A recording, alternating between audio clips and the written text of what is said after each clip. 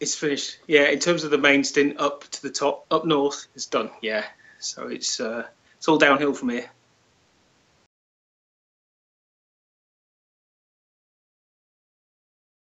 Yeah, actually, yeah, and hills with electric bikes aren't great. So um, they do sap power a little bit. Uh, it, has been the the climb coming from sort of uh, out of Kendal up through Carlisle, up to Carlisle, and then up from there into Scotland. You do notice um, when when you're seeing the power go down, you do notice that hill is constant, constant gradient all the way up. Um, so I had to actually stop, make an extra stop. I kind of anticipated I would, um, but it, it, was a little bit, you know, seat of your pants thing. But uh, it's been fine. I haven't run, I haven't run out. All the planned stops worked. Uh, it's been really good. Yeah.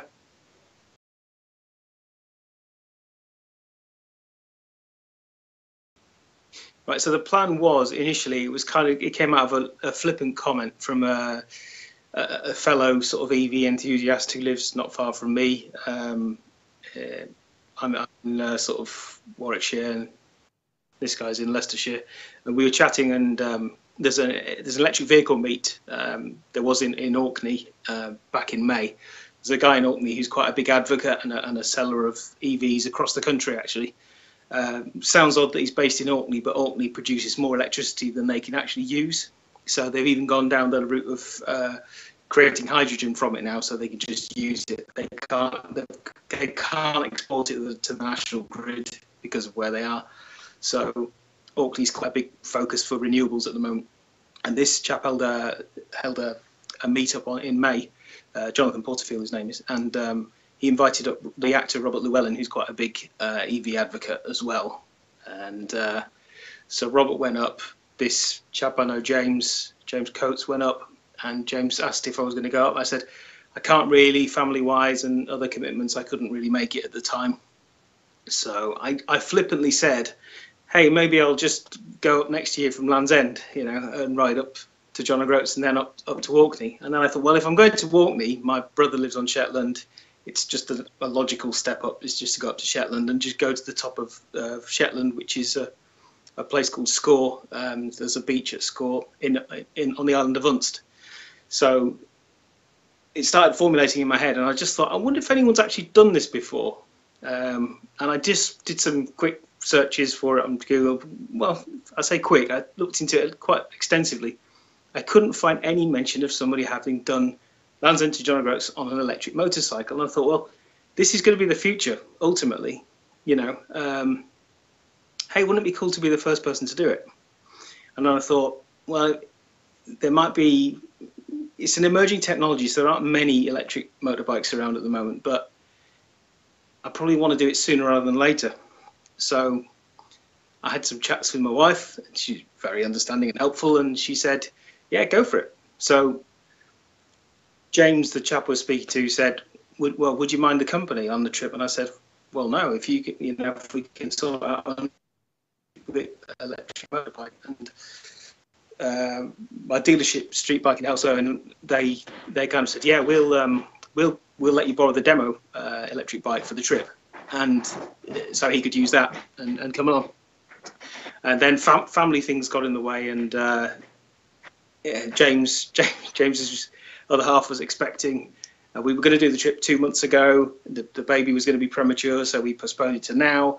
And then the baby went to full term, so ultimately James had to pull out, and I, I, did it on my own, which was which was the original plan anyway. But uh, I mean, he's been help, he's been very helpful insofar as he took me down to Land's End in a, in a van, and he's very kindly going to come up and get me uh, tomorrow morning from near Aberdeen. So you know, I, it would have been real pain to do it without his help. So he's been he's been very help, you know, very helpful to the project still, despite not being able to come along.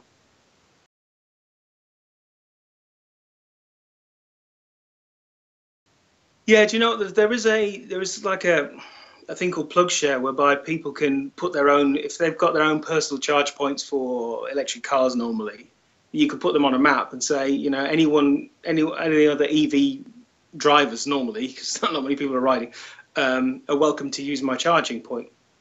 uh, the national infrastructure for for car. I drive an electric car myself, a, a Nissan Leaf.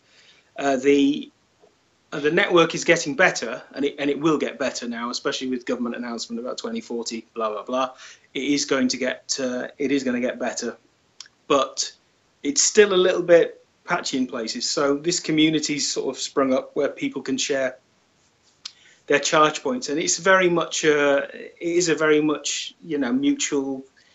Uh, it's quite a nice community, and so I kind of looked at the, when I was planning the journey. I split the Land's End John O'Groats section into ten parts uh, of 85 miles because the bike will do around about 100 miles um, mixed roads, which is pretty good. But I thought, well, I'm going to be carrying a lot more weight. Uh, there's enough weight on me, but I'm going to be carrying even more. And 85 miles is probably sensible per stint. Um, so I kind of looked on the map then at 85 mile intervals. I thought, well, okay. Uh, I planned it over four days. The first two days I'll do three stints. The second two days I'll do two stints. So that means the last two will be a bit more relaxed and enjoyable. I'll be in Scotland, so I'll be able to appreciate them a bit more.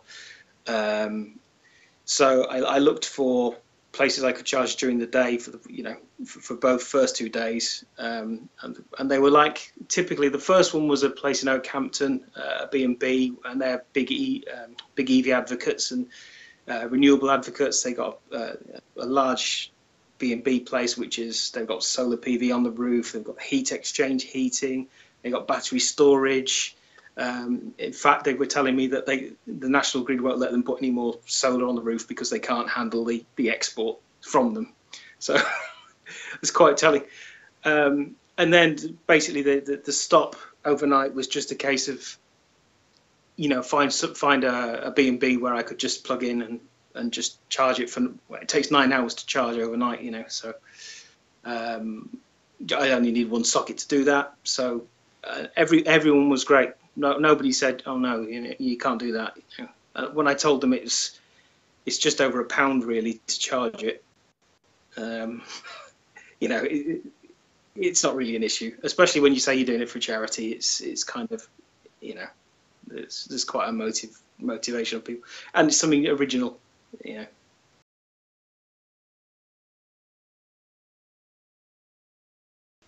Um, yeah, so the the initial one is um, blood bikes. Um, I'm an observer for the for the my local Coventry Warwickshire Advanced Motorcyclist group. So uh, there's a lot of people in that group who are uh, also blood bikers, and blood bikes. Uh, what that is, it's a network of, of advanced riders who offer a service to the NHS, which the NHS doesn't have um, overnight, and it's basically delivering uh, blood samples, tissue samples, X-rays, any anything that's required urgently from one hospital to to another, and it's it's quite a big network. There's a lot of people in the club involved in it. They give up a lot of their their time, and they're all they're always fundraising. They always need more funds. They've got to main, they've got to maintain a fleet of motorcycles. So um, it seemed very worthwhile and appropriate given my interests, uh, charity to support. Then the other the other charity doing it for us uh, is Tommy's, which was um, which is actually James's choice because of what his, he and his wife have recently gone through. Tommy's are a pregnancy support group. Um, he could talk more about that than I could, but uh, I know they've been very good to him, and I, I wanted to honour that because you know we'd, we'd said that in in the, in the initial instance we'd said we were going to support Tommy's, and yeah, quite right. We should we should continue to do so.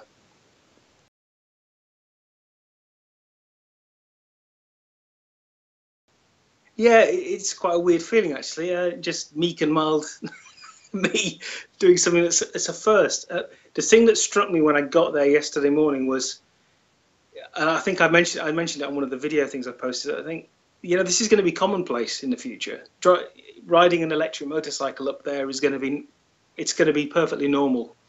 At the moment, it's a bit of a challenge, and I, I it was funny when I set off from Land's End on Friday morning. There was a there was just one woman there near the post, I thought I've got to set off from the proper point, start point. Uh, there was one woman there who was taking photos, and I said, well, "Would you mind taking a photo of me near the post with the bike?" And she said, "No, not at all." And she said, "You're doing what I think you're doing." And I said, "Yeah." And she said, "Oh, I've just seen my husband off. He's cycling up." And I said to her, "Yeah, that makes me feel like I'm doing. It's a real cop out what I'm doing. You know, I'm just riding, riding a, a, a propelled vehicle up there. But in the event, it, was it was a challenge. You know, it wasn't as easy as I thought it was going to be. It was more enjoyable than I thought it was going to be, but it, it was it was ultimately a challenge. Yeah, not a physical. I mean, I'm not great at physical challenges, but it, it, it was a, a challenge, you know, all around. And it was it was a it was quite an odd feeling, like I say yesterday morning. I Think I'm the first to do this on an electric vehicle. It must have been like the first person to drive a car from, you know, an internal combustion engine car from Land's End to, to, I don't know if they did to Skaw, but uh, so yeah, it, it is quite an odd odd feeling, really.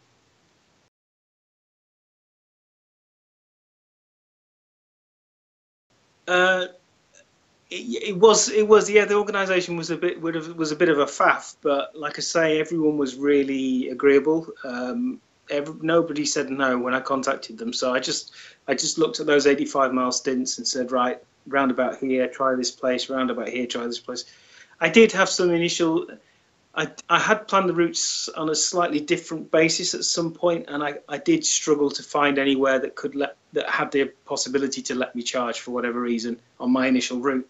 So all I did was vary the route slightly. I was going to go through uh, Runcorn initially, um, and instead I just I just moved the route over to uh, Warrington area. And the first pub I contacted in Warrington was kind of it wasn't in a high street or anything. It was a little bit out of the way, so you know, it was a, it was far more easier prospect for them to to to help me out, uh, and they did.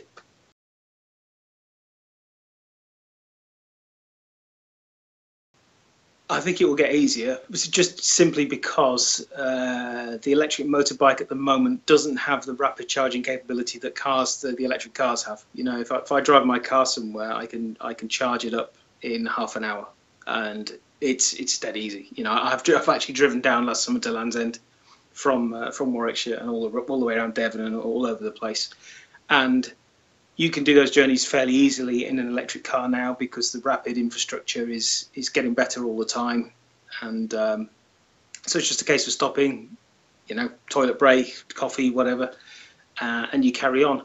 With the electric motorcycles at the moment, they don't have that um, DC rapid charging capability, so it's it's standard sockets is the way to go. And you have to carry it. My my top box i've got on the back of the bike is not the normal top box i have on it. I actually took it off the petrol bike i have uh, because it was big enough to carry the two extra chargers which are big heavy things.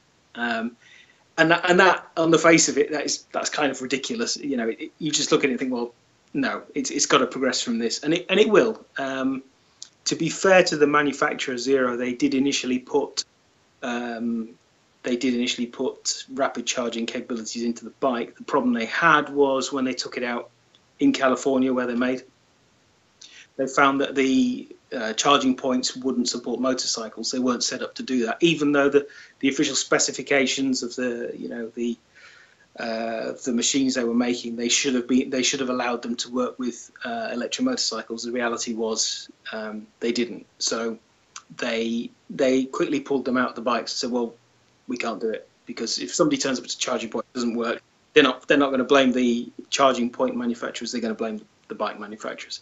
So they just went back to um, standard AC charging, but that something will have to happen along those lines to uh, to make faster charging far more easy. Um, they do offer a where the tank is on the on the bike is just a, like a storage compartment because obviously there's no petrol, nothing to, nothing to be there.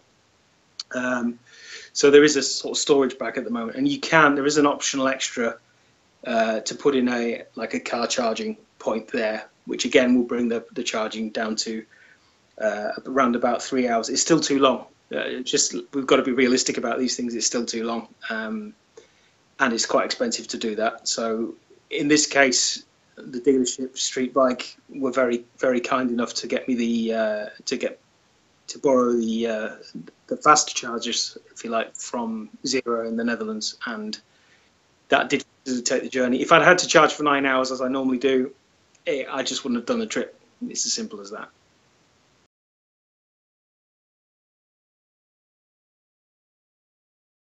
They'll have to. They'll have to come. Well, the government decision has got to be welcomed. You know, um, and a lot of people are stressing about that as though they're just going to stop. They're going to ban fossil fuels outright. You know, that's not what they've said. They've said new vehicles, very very specifically, new vehicles from 2040 will have to be, you know, zero emission.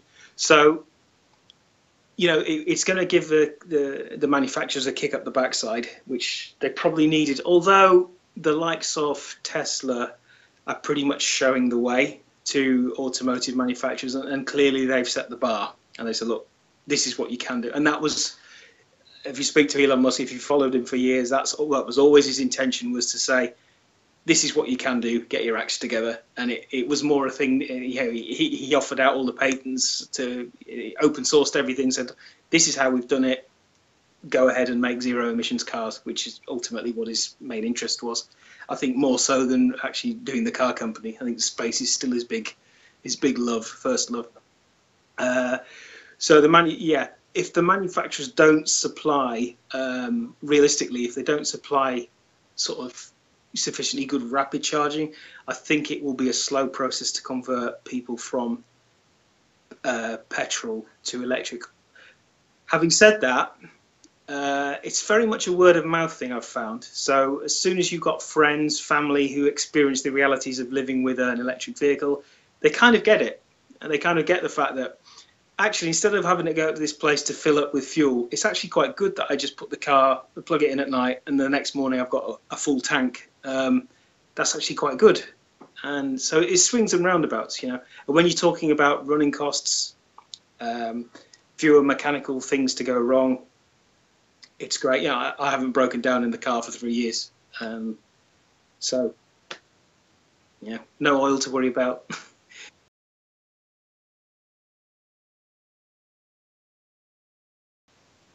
I, would followed it for a while. I'd followed the developments of them. Um, I, was forever thinking it's not quite there yet. It's not quite there yet. And following that, Robert Llewellyn chap I mentioned on uh, his YouTube channel, Fully Charged, I was watching that for quite a long time. Uh, I was watching developments with Tesla, thinking, well, it's all you know. I'm an ordinary person. I haven't got. I'm not wealthy by any by any stretch of the imagination, but when when it came to the point where the second generation Nissan Leaf came out, I thought, well, they've made several. They've made, I think they made over hundred improvements over the first generation. I thought, well, okay, they've obviously tweaked things. Yeah, when I can get one of those pre-owned at a reasonable price, that's probably the time to jump in. So, so that's what I did. Uh, and in a strange way, if you if you go down the pre-owned route, because there's still a little bit of unwarranted, I think, uh, worry about batteries.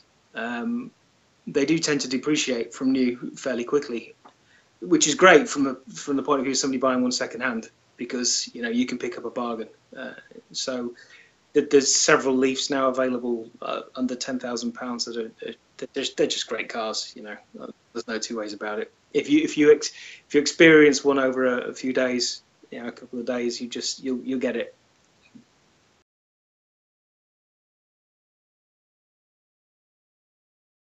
I offered him. I said to him, "Do you want to have a go on it on the bike?" And he said no. And he looked at me dead straight and he said no. I said, "Why not?" And he said, "Because I want one."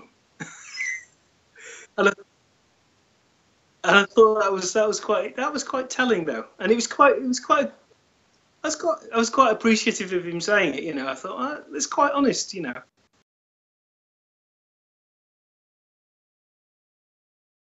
Um, yeah, the, the torque is is pretty good on them. Um, if you if you like torque, you you like electric bikes.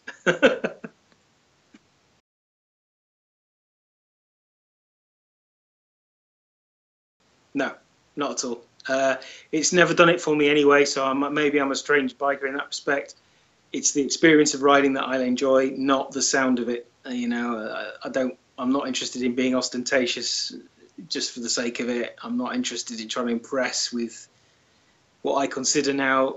I'm quite. I'm quite. I'm quite forward looking in terms of technology. I like new technology. I like advances.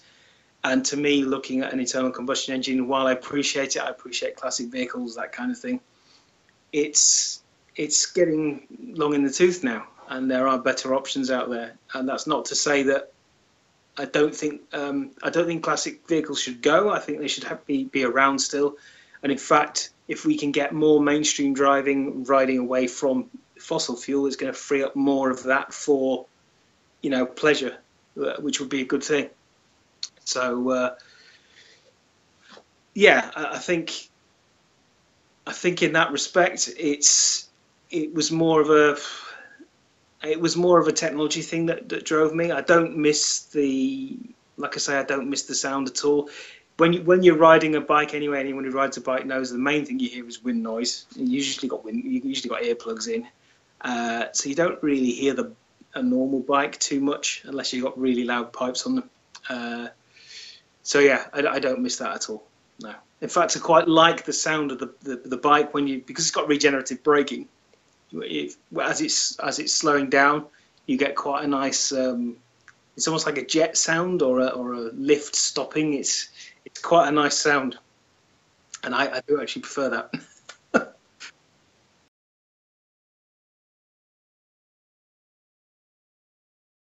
okay, well, high points of the journey in terms of, uh, I'd say were, were people actually. It was nice to meet lots of people.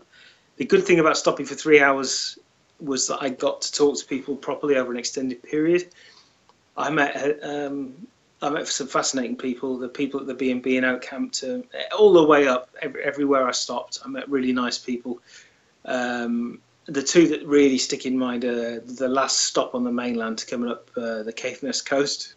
I stopped at a really nice little pub, um, charged there for three hours, and was just stood at the bar. And this old chap Donny came up to me, really nice bloke, and just got chatting and asked me what I was doing.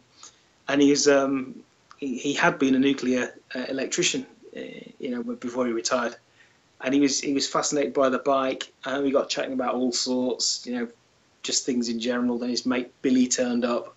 These were two like local characters by the by the sound of things. Uh, and they're extremely hospitable. Uh, Donny, in fact, was telling what I was doing. He, before he went, he shoved twenty pounds in my hand. That's for your charity, which I thought was great of him, you know. And uh, but they, they, you know, struggling to buy them a drink was was unbelievable. Yeah, forget what people say about Scottish people being me. These guys would not let me buy them a drink. And if anyone knows the Father Ted episode with Mrs. Doyle in the tea shop, it was exactly like that. I said I said that to the barman. This is like Father Ted. And, you know, put your money away. You know, it's no good.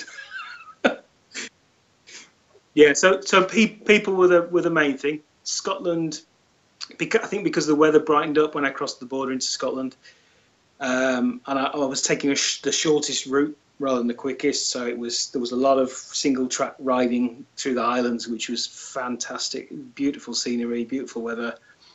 Um, so landscape secondary, and yeah, came through some great places, especially uh, especially the Highlands and coming up the the east coast there. That was great.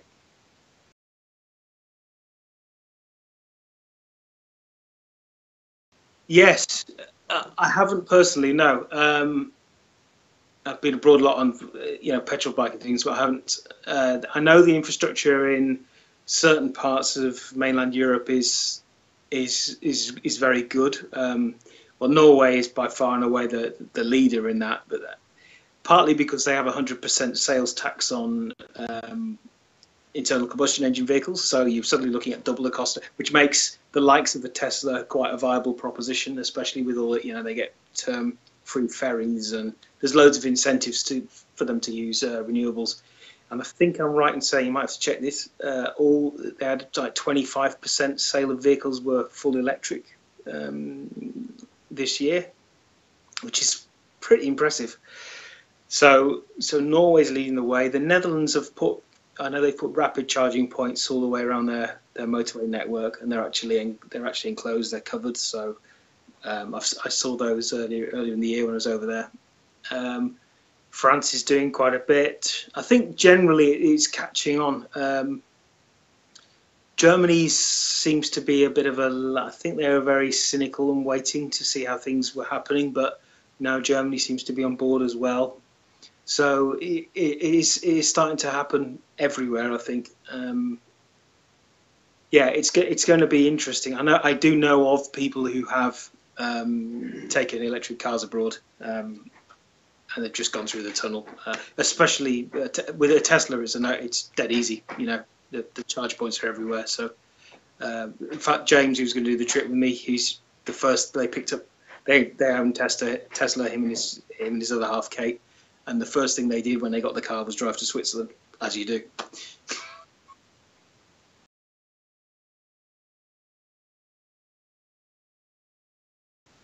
That would be great.